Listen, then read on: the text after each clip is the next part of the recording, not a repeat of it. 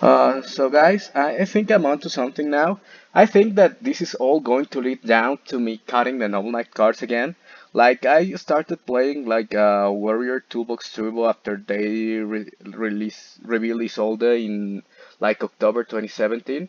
And then by the point like uh, when we got the deck, like I already was really, really, really good with with uh, warrior stuff to the point that I dropped all of the noble knights and played like dark warrior cards uh, that deck eventually, unfortunately, I couldn't do well with it in YCS Niagara 2018 because I underestimated uh, the impact of dangers in the in the meta, and then there was the FTK. I was playing to Gunblor, and then I was really stupid not to play as I thought as well.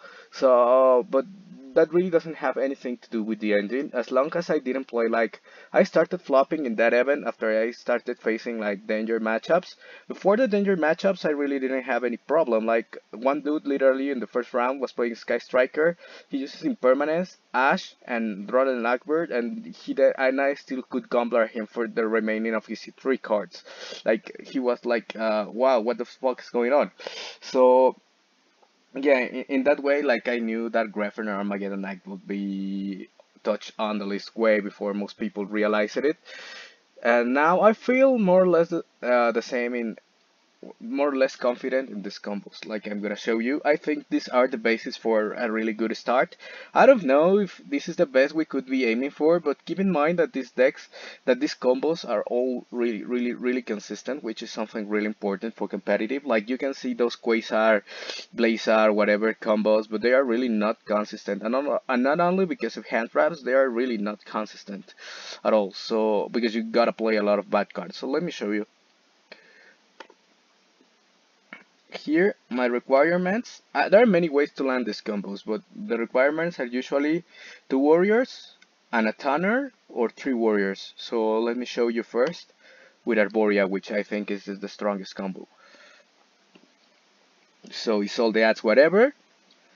Then I summon Doppel Warrior then I summon Arborea then I go for Ib uh, this card it's uh, absurd. This card is likely, as long as Needlefiber is legal, going to be the most important card of any single format. Because th this card's insane, like, it gives you way too many resources and searches way too many cards. Like, I wouldn't be surprised if Monstrosity ends up being really relevant. But because this card is just insane. I don't know what the fuck they were thinking. This card is going to be banned. I don't know why OCG doesn't play it, but OCG players are really weird sometimes. Like, like the fetish they had for Black Wings when they were really not good.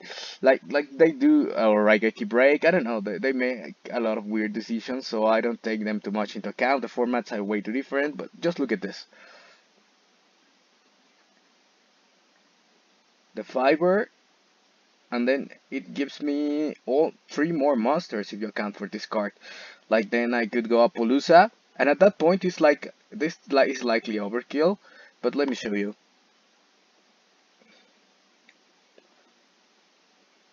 Like you could dump like Bob or something to keep going next turn. Like uh, this is really powerful.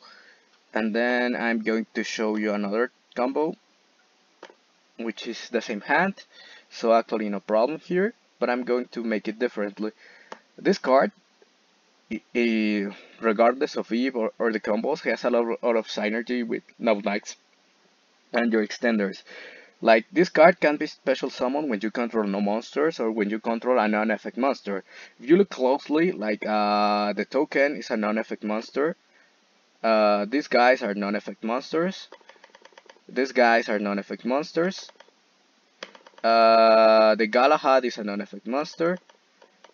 Then these things are more non-effect monsters and then if you play like Karbonala, Warrior instead of the uh, Raging, then more non, yeah, non-effect monster, non-effect monsters, all of these four, and then these are all more non-effect monsters, and then even if you are go all the way here, these are non-effect monsters too, so it, it's just really, really, really insane, insane, to be completely honest has a lot of synergy, is also aired, which is important for Naturia Beast.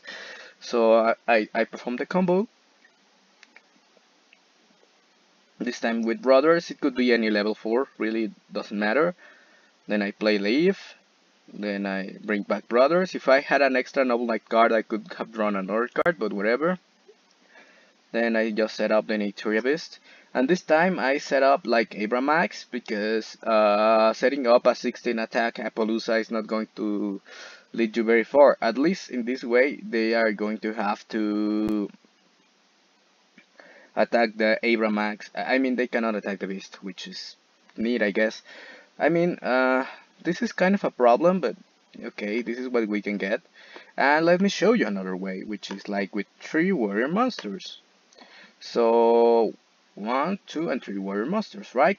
So I play this, I summon two more warriors to my field, I summon Isolde, I drop one, and I summon a Tuner level 1 warrior, and then I make if, and then it's basically the same play.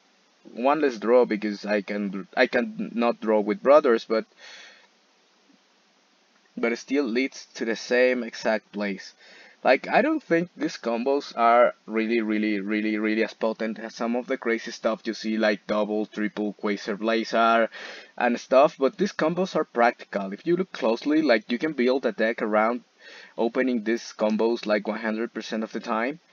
And it's just, and when you think about it in a competitive standpoint and mindset, like you start to appreciate this, the, the consistency this thing can offer you. Not in Noble Knights, like Noble Knights probably are I don't know if they could benefit much from this, but uh, on a Warrior Link deck again, like they they can do crazy stuff still, and they are really consistent. Like you can deck build around making it. For example, Armageddon Knight and any extender already. I think that Armageddon Knight by itself should lead you here because then you go like Isolde, then Isolde is going to summon. Yeah, this Armageddon Knight and another level 4 monster, which is going to take you here.